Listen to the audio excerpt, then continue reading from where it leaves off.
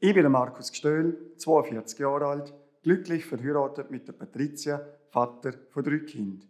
Ich arbeite als Lebensmittelinspektor beim Amt für Lebensmittelkontrolle und Veterinärwesen.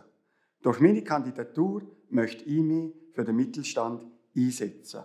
Im Beruf, aber auch privat, werde ich von vielen Leuten angesprochen, was nicht so gut läuft und was man besser machen könnte. Diese Anregungen möchte ich im Landtag würdig vertreten. Am Herzen legen wir Senioren, Familien und die Sicherung vom Wohlstand für die nächsten Generationen. Wir wollen jetzt gemeinsam im Team die Weichen für unser Land stellen.